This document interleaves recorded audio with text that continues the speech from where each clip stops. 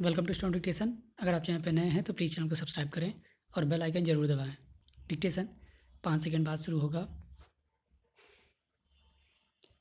Ready start यदि घटना में कोई संपत्ति नष्ट हुई है तो उसका विवरण दिया जाएगा।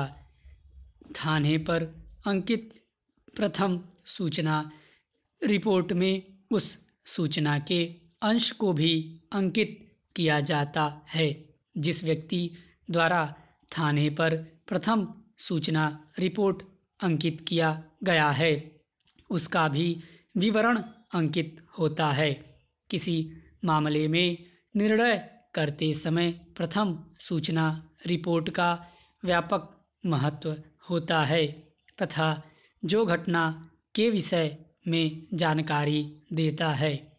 निर्णय करते समय प्रथम सूचना रिपोर्ट के संबंध में निम्न बिंदुओं पर ध्यान देना चाहिए।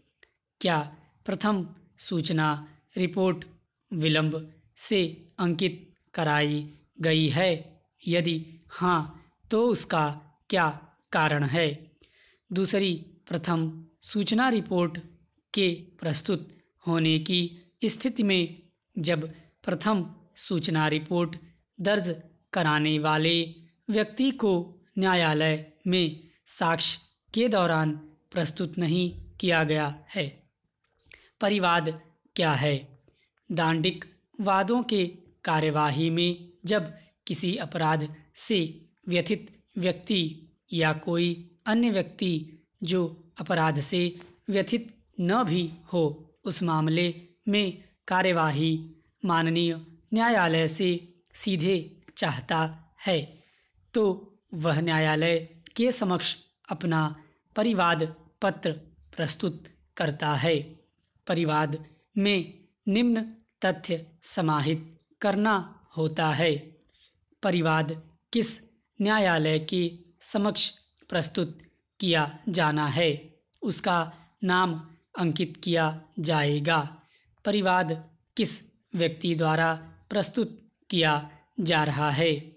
उसका नाम, पिता का नाम, उम्र, पता अंकित किया जाता है।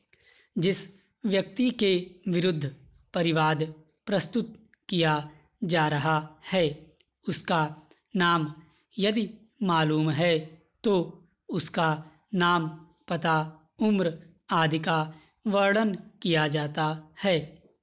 परिवाद में घटना का संक्षिप्त एवं स्पष्ट विवरण लिखा जाता है, जिससे उस घटना के होने की बात कही जा रही है।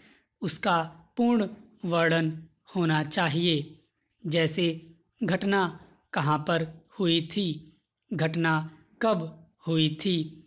घटना किसके द्वारा कारित हुई थी? घटना के समय वादी क्या कर रहा था? घटना के वक्त और कौन लोग उपस्थित थे? तथा घटना के पीछे क्या आशय था? इन तथ्यों को क्रमांक के अनुसार वर्णित करना चाहिए। परिवाद पत्र में यदि घटना कारित करने वाले अभियुक्त के विषय में पूरी जानकारी हो तो उसका नाम पिता का नाम आदि का वर्णन करना चाहिए। परिवाद पत्र में इस तथ्य का वर्णन किया जाना आवश्यक है कि घटना जिसका आरोप या कथन परिवाद पत्र में शामिल है, उसे परिवादी आवेदक द्वारा किन किन मौखिक साक्ष्यों के द्वारा स्थापित साबित किया जाएगा। परिवाद पत्र में के अंत में जिस अनुतोष की याचना न्यायालय से की जाती है, उसका वर्णन किया जाता है। आरोप क्या है? आपराधिक मामलों में आरोप व आरोप का विरचन एक महत्वपूर्ण घटक होता है, क्योंकि आरोप से ही निर्णय का आधार तैयार होता है। आरोप के माध्यम से अभियुक्त को यह पता चलता है कि उसके ऊपर किस अपराध के करने की बात कही गई है तथा वादी व साक्षियों का साक्ष्य भी आरोप के विषय में ही होता है।